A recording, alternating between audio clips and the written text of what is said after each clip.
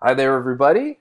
Uh, in this quick video, I'm going to show you how to use the Chaffey College library databases. If you've got research to do and you've got to use those Chaffey uh, databases, and if you're watching this, you'll probably already know for me that you need to. This is going to help you navigate through that system. Once you get the hang of it, it's pretty easy peasy. I'm gonna I'm gonna be really honest. Go ahead and start on your Chaffey homepage. Go to current student. Uh-uh. Bop down to library.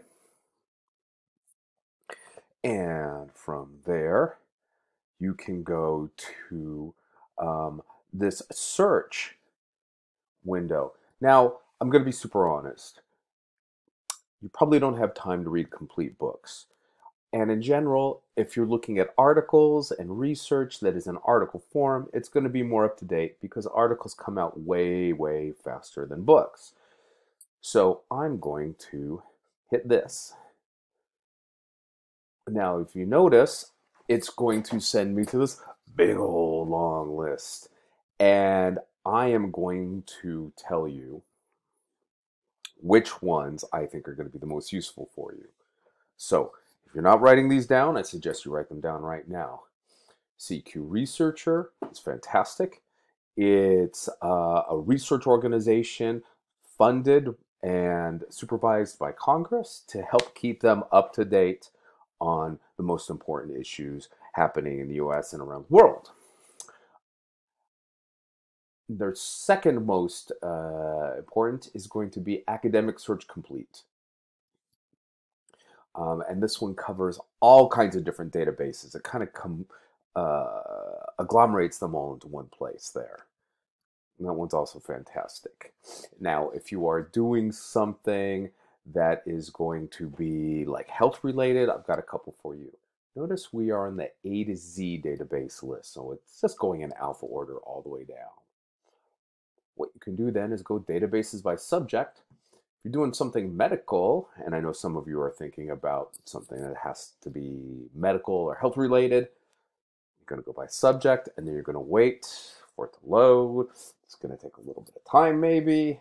Sooner or later, it jumps you right into that subject listing. And you notice here you've got all kinds of different ways of looking at those same databases. Nursing and health sciences. Health source, nurse, nursing academic is really good for issues regarding making arguments about health or about, say, COVID, the safety of vaccines. Alt Health Watch, alt there means alternative. So if you're looking at something outside of the mainstream, maybe, such as the effects of certain kinds of gray area uh, substances, uh, marijuana comes up. Um, you could also think about, you know, the use of some kinds of substances in psychotherapy. Um, Alt Health Watch is really good as well.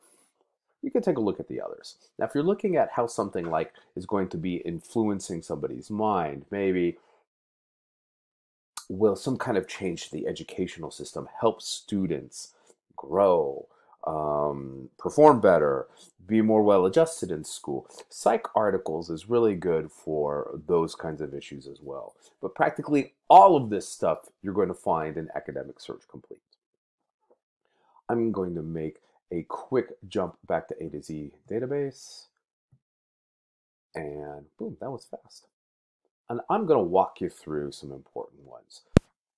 Now here, you're going to get into the login page. Remember, we pay money for these excellent databases. I mean, the college district does. So um, you got to prove you're a student. You put in your Chaffey ID. Notice mine is blank here because I'm not into identity theft. And then you're going to find your Chaffey password there. And it's going to be what you use to log in when you go to on-demand login to go look at Canvas or other kinds of campus resources. If you've got any problems with this, let me know. I've already hammered through this with a couple students, so I think I know what's going on. So, once you get inside, you're going to see this report. Um, and it's pretty long. Um, once you get to the actual report, this is just kind of like their homepage. Let's say you're going to do something about, say, undocumented immigrants and their effect on the economy. There's been a lot of back and forth on that, but let's see what the research says about it. I always recommend advanced search. Go ahead and hit that.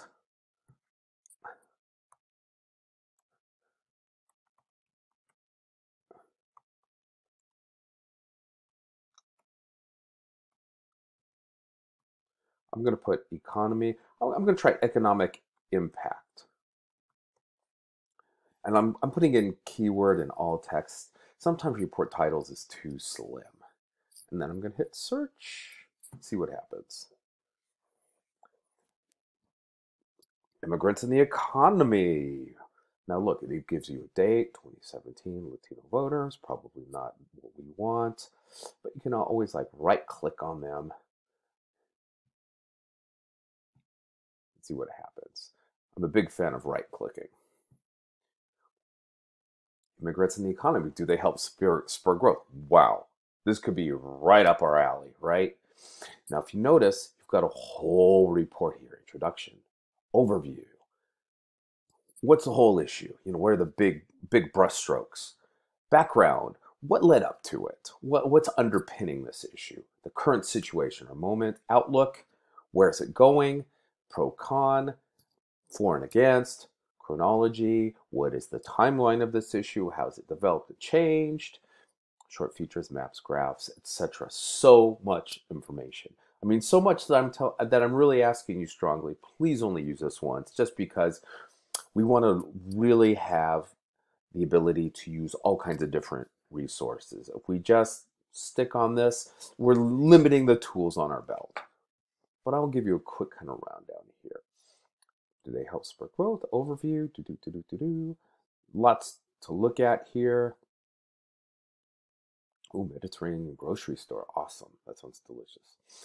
Now, anywhere that you see a one or a footnote, you'll notice that you get something that you can jump to and it'll tell you where to go. New York Times, any legitimate journalism like that, New York Times, Los Angeles Times, um, that can count as a source too, okay? And sometimes going to one source just by looking at the footnotes leads you to the other sources that you want. And of course, we get some graphs here. Um, immigrant count on the rise.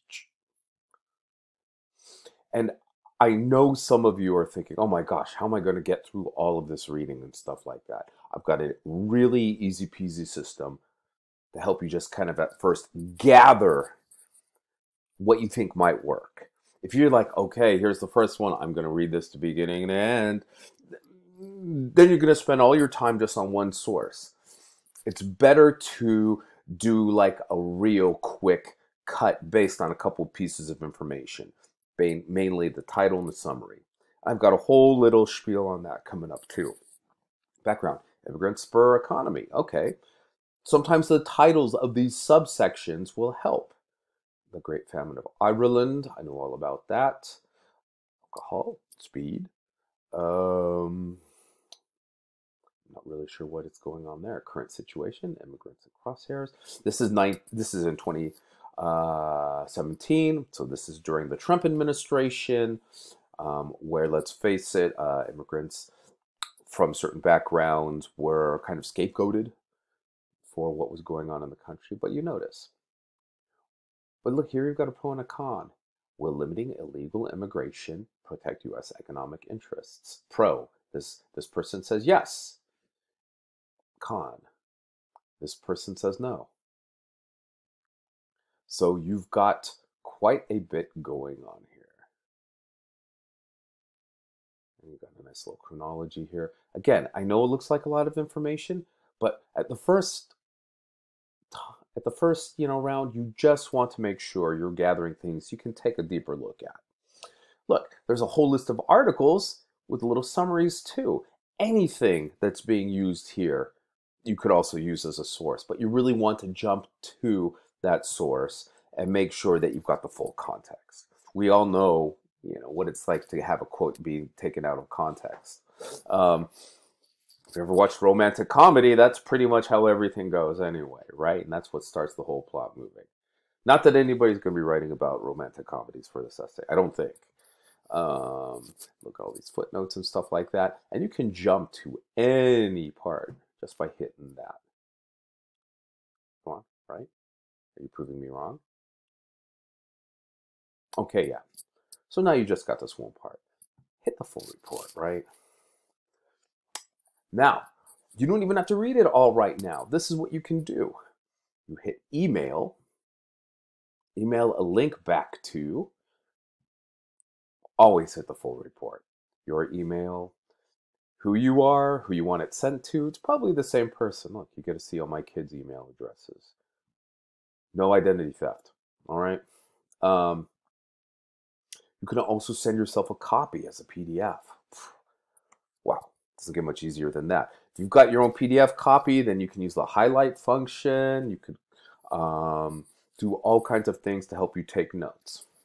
So anyway, that's how you do that. Um, really good one. I know some of you might be interested in, say, um, let's say, COVID policies. Or how about vaccine effectiveness? Vaccines don't work, they're placebos.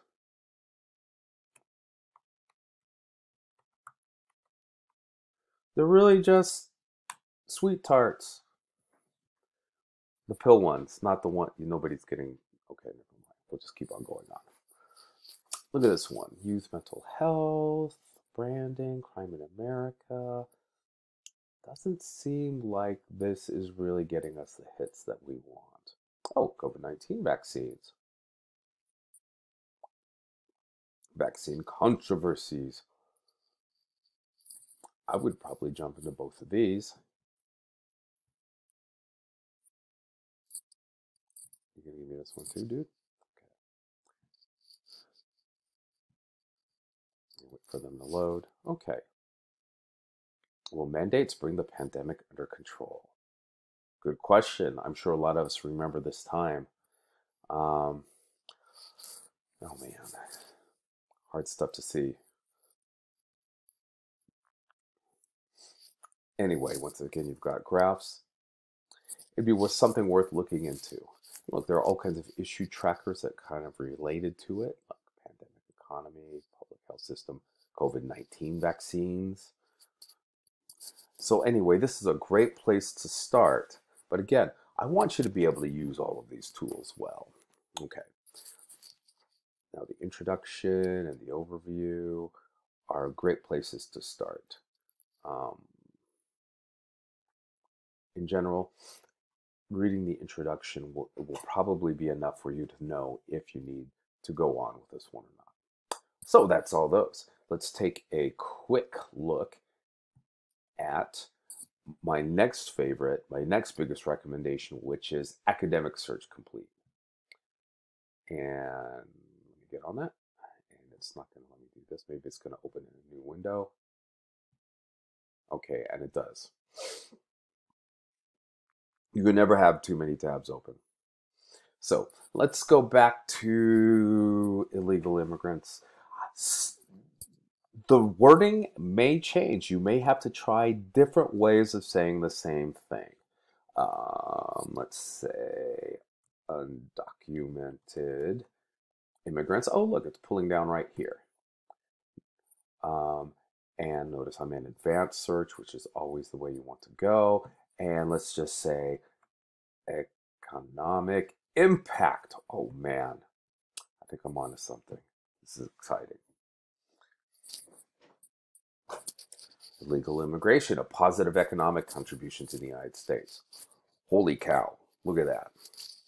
Now notice you've got a nice little slider here that'll help you decide how recent you want your research to be. I'm saying within the last 10 years or even less is what you're going to want because mm, in 1899, maybe what their research was saying about immigration was very different and perhaps flawed. But notice you still got 48 things to look at. Here's the ethical, ethical implications, the cost of intolerance, international trade, job vacancies.